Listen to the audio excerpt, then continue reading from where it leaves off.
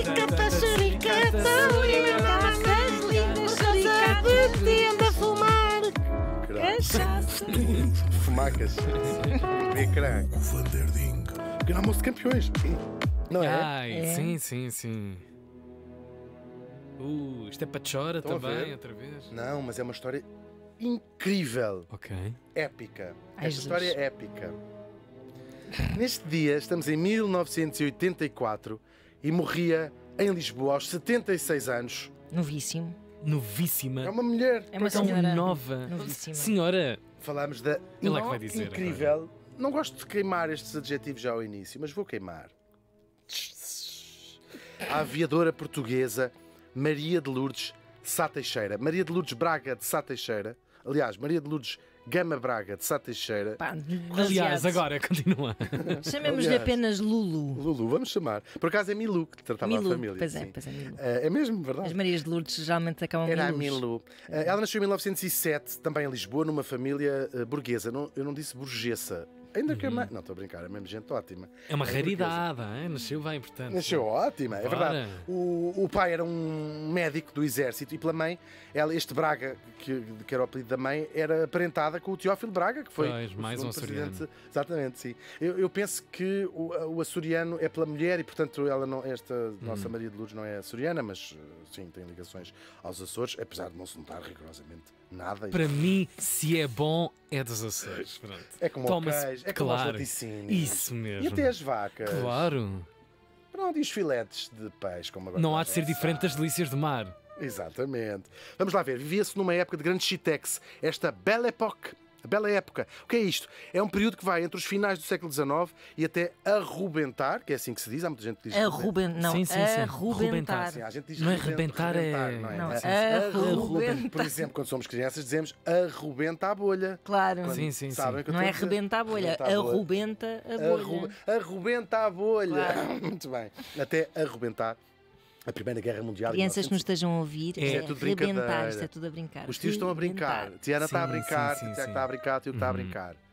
Portanto, vamos a Belle Époque, finais do século XIX e rebentar a guerra em 1914. Em França, isto começa mais ou menos em 1870. Estabelece uma república. É o primeiro regime estável desde a Revolução e, portanto, toda a ordem social da Europa está a mudar e do mundo, é verdade. Ah, E depois, nas três ou quatro décadas seguintes, Paris vai ser renovada. Falámos disso aqui. Nasce esta Paris que nós conhecemos. As avenidas, os teatros, o caraças, também os boulevards. Nasce também a noção de lazer e de diversão, porque nasce também a classe média que se vai consolidando ah, um pouco por toda a Europa, sobretudo no centro da Europa E precisa de partir dinheiro, não é? precisa de se divertir, porque não era um conceito, e divertir-se nas cidades também.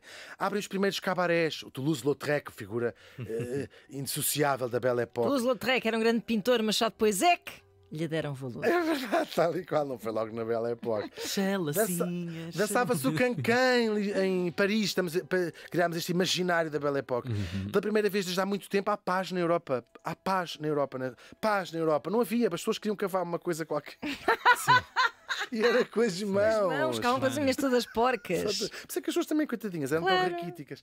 A ordem social vai se transformar. As cidades europeias e americanas, isto é ao longo deste período, que são duas, três ou quatro décadas, ah, começam a ser iluminadas, não é? Aparecem os transportes públicos, o metro, o comboio, os automóveis. Isto em muito pouco tempo. É incrível esta transformação do final do século XIX.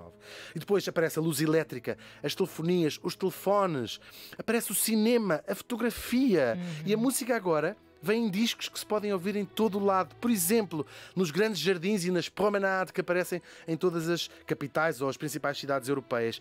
Cruzam-se agora continentes em hotéis flutuantes de 5 estrelas.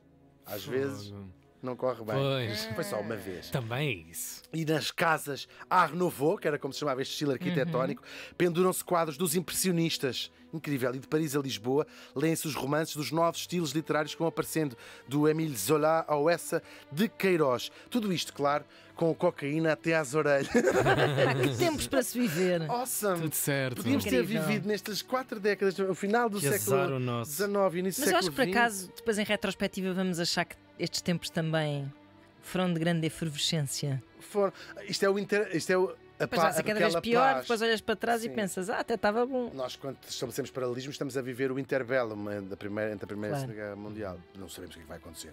Ah, e por falar, falta falar de uma das coisas mais fascinantes. Em 1906, não muito longe da Torre Eiffel, que é uma obra-prima da engenharia precisamente desta época, o brasileiro Santos Dumont fazia o primeiro voo autónomo num avião. Em 1903, trouxe a falarmos disto tudo aqui. Foi aqui, se calhar foi noutro sítio. Os Foi, irmãos foi nesta Wright- rádio e neste programa. Sim, tinham voado lançados por uma catapulta. É catapulta! Uma fisga puxada bem para trás. Tinham assim a correr, a correr, a correr, a correr. Eles- Exatamente. Portanto, o do Santos Dumont, apesar de ser três anos depois, é considerado o primeiro de um objeto mais pesado do que o ar e é o primeiro em que o piloto está eh, sóbrio, se calhar. No ano a seguir, nasce a nossa querida Maria de Lourdes Milu para a família. No meio de todas as coisas deste admirável mundo novo, nada a apaixonava mais do que a cocaína, tudo aquilo que eu falei. Estou a brincar. Também lhe dava asas. Exatamente. Ela tem descendentes vivos. Era, era as asas do nariz. É verdade, Luís. Brinco. Claro, a ideia era eh, esta ideia que a fascinava de cruzar o céu dentro de um pássaro de metal, que era um avião, vá.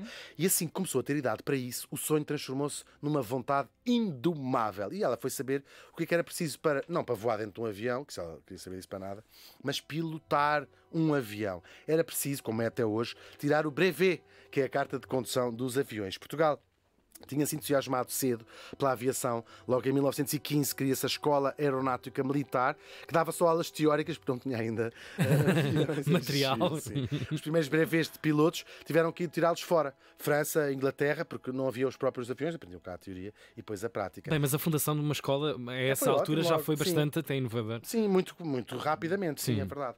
Ah, o primeiro, ele nunca tirou o brevet, mas vou dizer aqui o nome dele. Ah, Alberto Sanches de Castro fez o primeiro voo em Portugal. Estamos em 1912, seis anos depois do Santos Dumont, e o voo foi em Vila Franca de Xira. O Dumont foi em Paris. É, cada um é pouco, não É isso. A Vila Franca de Xiré é uma espécie Sim. de Paris. Sim. Na altura é.